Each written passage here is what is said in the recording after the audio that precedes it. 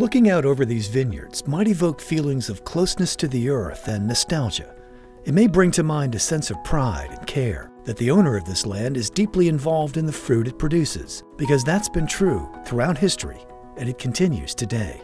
The essence of winemaking is not only about grapes, but the people, wine growers, who care for the vines. It's about farming traditions that have been passed down through generations. But these days, it's rare for families to stay in the winemaking business as consolidation and buyouts are on the rise. Operating as a family business always has challenges, but it's really the only way we know how to do things. The wine industry is no different than other industries. It has experienced both globalization and consolidation. You walk down the wine aisle of a supermarket and you see wines from all over the world.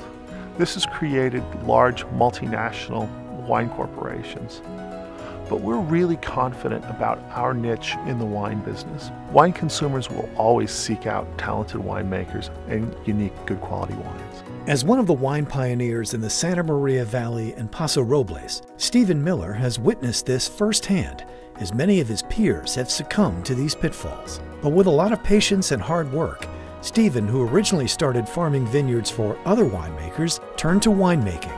And today, with his sons by his side, the family owns and operates several wine producing businesses, a legacy they plan to pass down to the youngest in the Miller clan. In 1973, when my brother and I planted our first vines in these vineyards, there really wasn't much of a grape growing industry or even a winemaking industry here on the Central Coast. We sought markets in Northern California where the wine industry was settled, and we recognized that we needed to grow the industry here locally through efforts to support winemakers that were emerging in this region and providing opportunities for them to be able to make wine in a facility that we created. We have seen this industry grow and we've been very supportive of it. So the blessing of a family business is that it's the environment that you grow up in. I've got early memories of playing in the vines.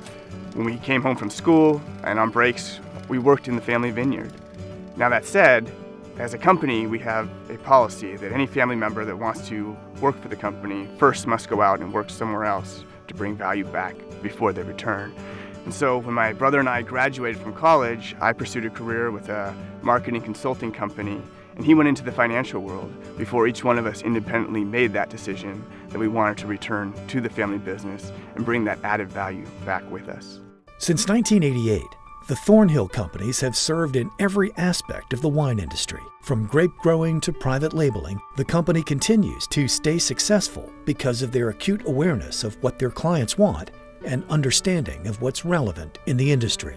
They come to us because they have confidence that we are high quality growers of wine grapes. Some of them trust us to the point that they ask us to not only grow their grapes, but make their wine for them and they then take it, bottle it, and put their own labels on it. We also make wine for restaurant chains or for grocery store chains to be exclusive products for them. Finally, we make our own labels of wine, some of which include J. Wilkes, Ballard Lane, and Smashberry. We are the most vertically integrated winery on the Central Coast. Consistency is indeed always a challenge for every grape grower and winemaker.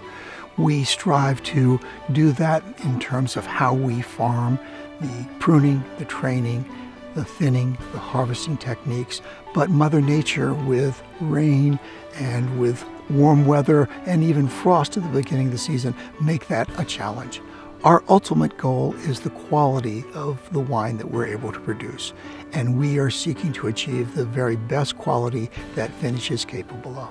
With the exception of Mother Nature's unpredictability, the Millers are in complete control of this entire operation, so the relationships they establish with their clients are personal. This is something they value tremendously, and these are the principles they're teaching the next generation of Miller family wine growers. This is more than a 9 to 5 job. It really infuses our entire lives. Coming home from work, it's our wine that's on the dinner table. When we're on vacation, it's exploring other wine regions of the world and seeing what makes them unique and how they're special. Growing grapes making wine, it's really the story of our family. So I've never been as, as, excited as I am today about what the future holds for the Thornhill companies and our family's business is that we really believe that within the wine world, California has never had a better time. And within that, really the area in which we farm and live at the eye of the storm, seem to have more excitement generated around them than ever have in their history before. And so for Marshall and I and our family to be involved at this point really seems like we're, we're working towards creating something that will be a very long-standing legacy behind us. From the first moment of planting grapes, this has been a very exciting life for me. I find today walking the vine rows, tasting from the barrels in the winery, there is a new chapter to be written each and every day. And for me, that is so exciting, I can't imagine not always being engaged. To learn more about the Thornhill Companies and the wine services they provide, visit us online or call the number on your screen.